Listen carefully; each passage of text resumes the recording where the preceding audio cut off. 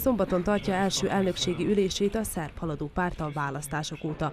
Az eredmények összegzése mellett a kormány programját is ismerteti majd Aleksandar Vučić, pártelnök. To je prva sednica predsjedništva nakon naše pobjede na parlamentarnim izborima.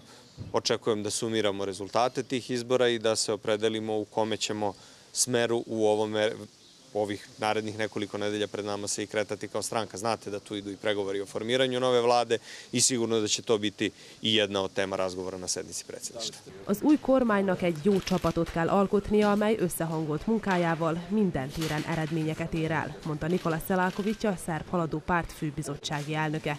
A leköszönő igazságügyi miniszter kijelentette, a párt célja az, amit a kampány során is hangoztattak. Rešavanje gorućih pitanja srpske privrede i ekonomije, zapošljavanje stanovništva, dakle otvaranje novih radnih mesta i stvaranje najpovoljnijeg investicionog ambijenta u ovom delu Evrope. A Novosti szerint a sokat vitatott új munka, privatizációs és csőd törvény elfogadása is a prioritások közé tartozik.